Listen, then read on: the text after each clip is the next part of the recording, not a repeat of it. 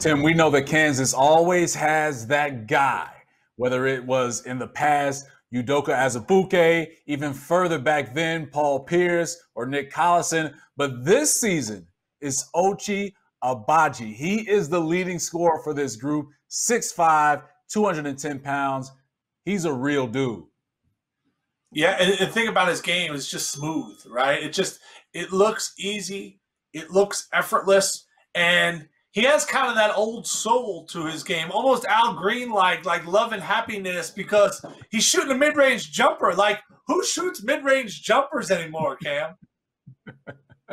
the mid range jumper is a lost art. And I'm thinking about the late, great Howard Garfinkel at the five star basketball camps that I attended. And he would always say, conquer the mid range game. And Agbaji is doing that at Kansas. But what's impressive about Agbaji, Tim, is that each season that he's been at Kansas, he's been there three seasons, his numbers have improved across the board from freshman, sophomore to now his junior year. And that's a clear example of his work ethic. He's in the gym.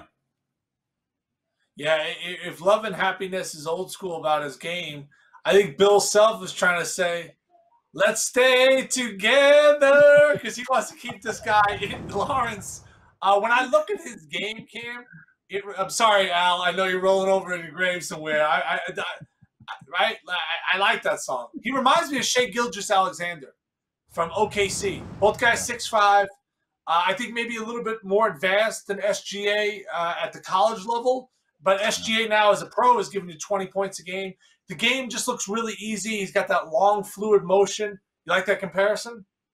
I like that comparison. But I also like this comparison. I see some some Jimmy Butler a little bit in his game with how he's able to create his shots, especially when he gets to the mid range and knock things down. And he's just unafraid of any situation that's presented to him. And you talk about love and happiness with Al Green and let's stay together. But I, I think the, the the music that's or the song that's going to be played is how do you mend a broken heart? Because Bill Self Ochai is not coming back to Kansas. This dude is a first round pick. So he's going to be gone after this season. So they'll be playing How Do You Mend a Broken Heart by the great Al Green when he leaves. Yeah, it, it, I love the pace that he plays at. Like, you see some guys, like, the game looks really difficult for him. Like, there's a smoothness to him. And Cam, you pointed out before, like, the fact that he just keeps working on his game and getting better and better. Uh, right here, just making the right basketball play and finding shooters. Like, he, he he's only started to kind of scratch that surface. Go check out his face. Like he still's got like he's not shaving yet. Like he's like a, you know we all have those friends that are like twice a week guys. He's still a twice a week guy that he's shaving. I think he's got immense uh, room to grow. And I think for Kansas, uh, like we said, the talent isn't abundant. That he's gonna have to have a massive performance if they're gonna make a long run in March.